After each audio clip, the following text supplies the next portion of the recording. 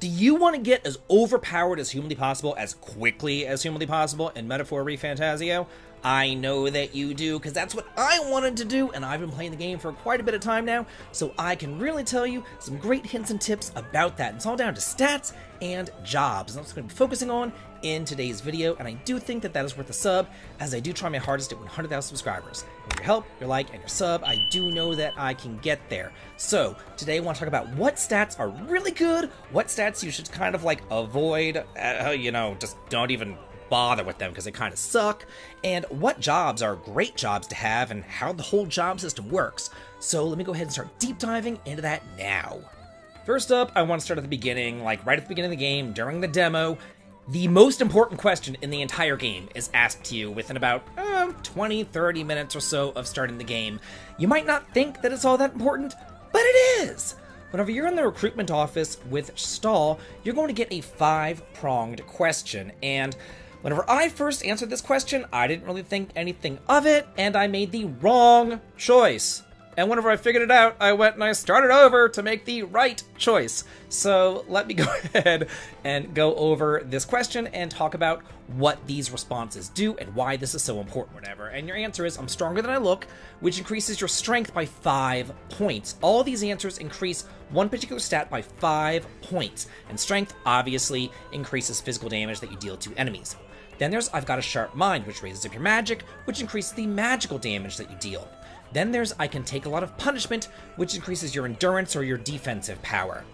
Then there's also I'm small but I'm quick, which increases your agility, and agility works a little bit differently. It's the basis for how successful it is that you land a hit or evade a hit or escape from battle. And then there's I've always been lucky, which raises your luck, which is your item acquisition rate, and also how often you critical hit. Personally, I would either choose I'm stronger than I look or I've got a sharp mind. And honestly, if I was really, really, really gonna say, hey, go for this one, it's I've got a sharp mind. And the reason for that is because magic is overpowered in this game. You definitely want a magical caster.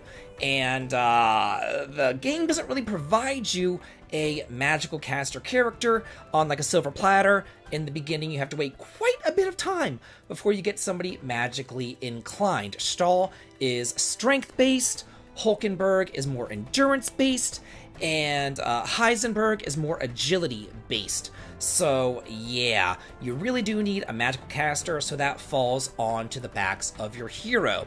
Now, there is another thing that I do want to talk about, and that is whenever you gain levels.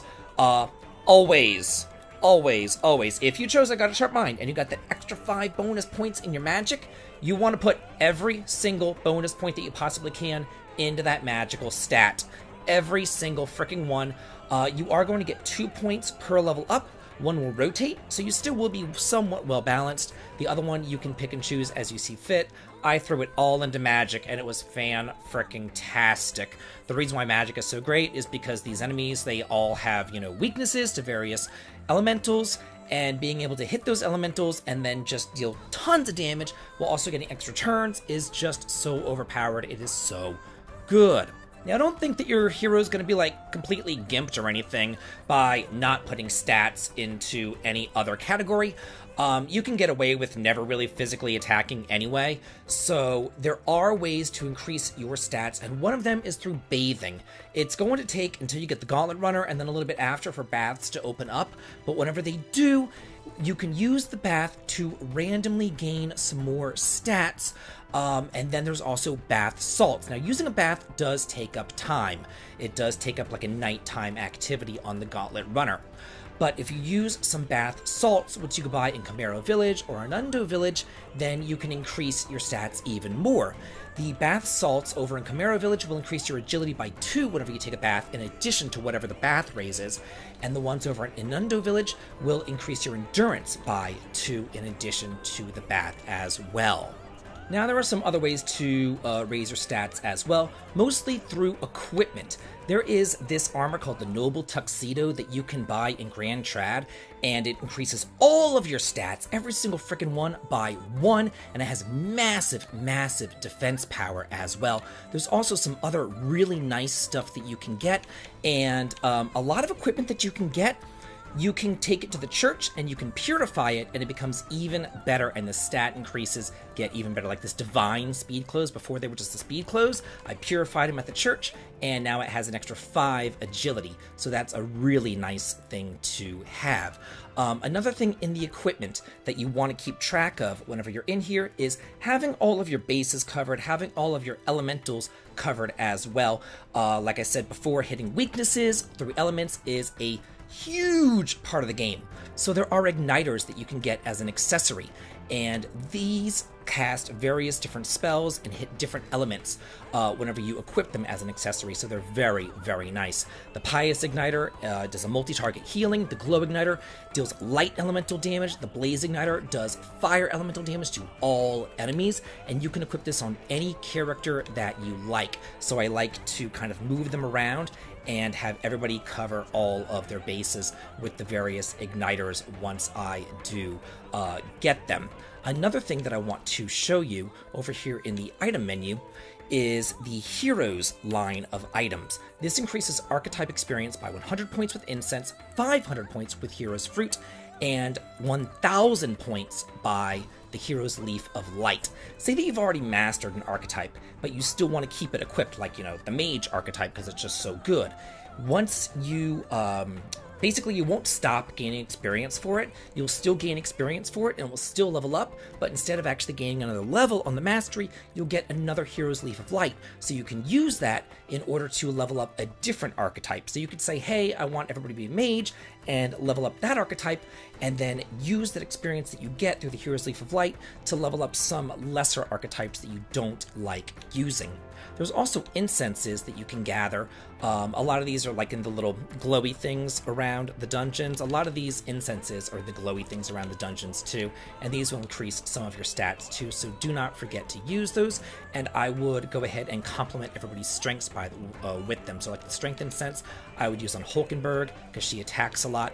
I would use the speed incense on Heismay, since a lot of his um, thieving abilities has to deal with his agility as well. So yeah, just do it that way. It's really good. Now let's look at the archetype tree over here and let's talk about that and how this all works, how it all kind of levels up. So as you can see, my hero Kupo is a merchant right now, and there is another job attached to the merchant tree, but I can't open it up right yet. This will open up once I get Merchant Mastered at level 20, and once I get my uh, bonding level with Brigitta up to level 8. So that will take some time, and there's also another mystery requirement down there for it too. Um, let's see, I've gotten the Seeker Mastered as well, but I can't unlock the next job in the Seeker tree until I get more up to rank level 3 with his bonding as well. Same thing here with the mage, I have that mastered, but I can't unlock the next uh, tree here unless I get level 3 with Gallica. There's another job down here which I think is kind of interesting. Uh, this is the Magic Knight. In order to get the Magic Knight, you need to have Mage at level 10 Knight at level 20 in order to unlock that one. So if you're looking around here, um, there is a reason why you should go ahead and master these jobs. But another thing that you do want to keep in mind is you want to make sure that each character masters what they are good at. So I have Kupo, my hero. He is magically inclined, so I'm having him work on Seeker and Mage. Um, and I threw him over into Merchant for right now because it does have some pretty neat things going on in here, uh, such as Lucky Find, getting extra items after battles. Some of these passives are pretty good as well, so I figured why not? And there was nothing else for him to really do. I put Strohl over here in the hero or in the healer tree. I put him over into Cleric as well, so he has access to some light magic. I also gave him the uh, the warrior tree over here as well.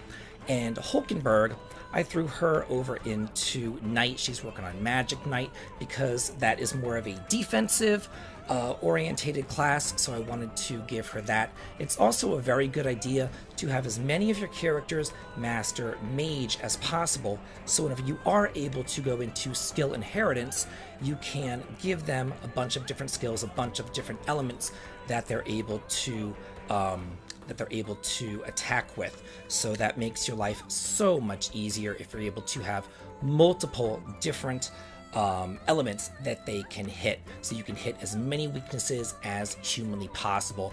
That will just really make your life so much better, so much easier, and make you able to really breeze through these battles. Because once you can find a weakness and you hit that weakness with these magical spells, then you'll just breeze through these battles. So I hope that all this information really did help you. And if it did, please leave me a comment. And I also want to hear from you. What hints and tips do you have for Metaphor? Let's all talk and chat about it in the comments. And as always, have a good day.